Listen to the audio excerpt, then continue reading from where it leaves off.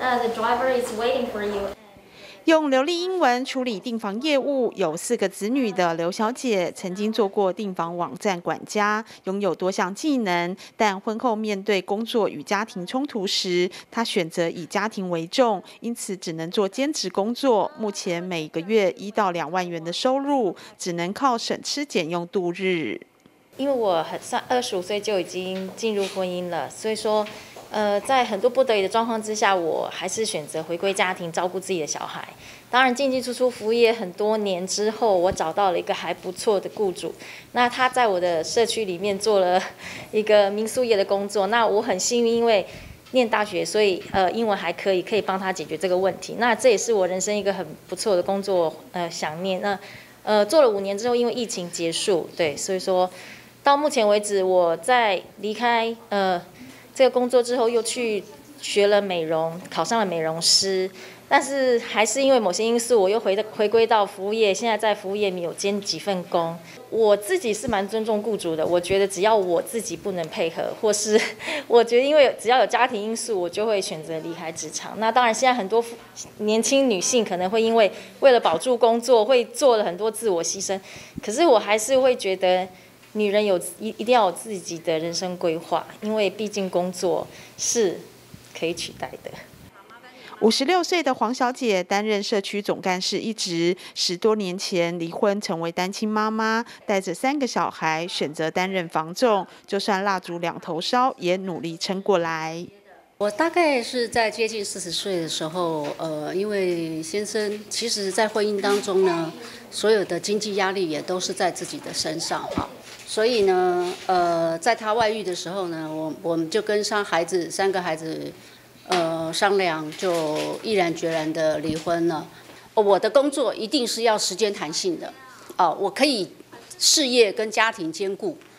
好，我所以我们在这种这种状况下呢，我们一定是找这种。呃，时间弹性啊，然后可以随时小孩子有什么状况的时候，又可以马上支援的这样子的工作。所以呢，我到了台北之后，我就找了一个那个防重的工作，那个蜡烛两头烧，因为你你必须顾及你的工作，你必须要赚钱，然后又必须照照顾小孩子。有的时候在小孩子生病啊，或是那个就是有一些学校的问题的时候呢。哦，我们就非常特别的辛苦，因为孩子一生病呢，就会影响到我们的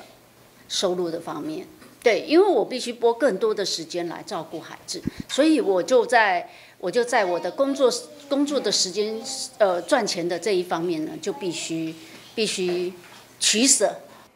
小孩一岁多的米林，在半年育婴假即将结束前，被准公托放鸽子。米林只能临时向公司申请延长育婴假。在延长育婴假期间，幸运排到准公托，也顺利重返职场。之前其实是就是想说，育婴流停完之后，然后就是要让他去上课，就是要去找准公托，然后。那时候就是半年请完之后，他就说，就是他那间准工都说他还有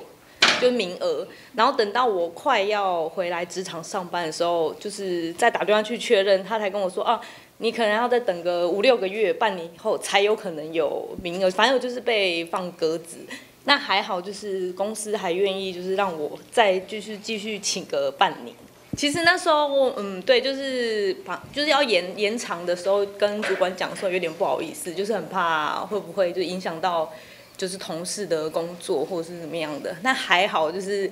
我们这边的主管就蛮体谅的，就是有让我就是好，你就是继续请，请到你有让他可以去上课之后，你就再回来上班。呃，因为之前有听说，就是拖，就是育婴假会变成可能比较可以请个一单独一天两天这样子。我觉得如果。真的可以实行的话，对我们来说其实是比较有帮助的，因为我们因为现在都是可能要很长一段时间孕假才会就是才会被准许嘛。那现在可能如果可以一天两天的话，我觉得会比较友善一点。根据人力银行调查发现，已婚上班族女性认为台湾职场环境对于女性的友善程度非常低，以一到十分评分，平均只有四点四分。更有五成三因为怀孕生子，受到来自主管或同事的不友善对待。女性上班族更认为，一旦暂离职场，想要重返职业生涯的难度为六点四分。那根据我们这次调查发现呐，其实台湾的职业妇女哦，对于台湾的职场环境好像不太满意。他们认为啊，台湾的职业职场友善程度十分只有四点四分，那更有百分之五十四点七的妇女投下了五分以下的低分。那当中呢，有五成三的人表示说啊，曾经因为怀孕生子遭到了公司的刁难。那他们认为呢，在怀孕的过程当中，在职场上感觉到最大的压力来源，可能包含像是临时。请假哦，可能会被为难，或者是呢，他担心生完小孩之后没有办法重返工作岗位，或者是同事主管的态度不太友善，影响到他的考绩呀，或者是他觉得可能未来的发展性可能会受到影响等等。那我们也询问了这些职业妇女哦，他们认为二度就业重返职场的困难度大概有多少呢？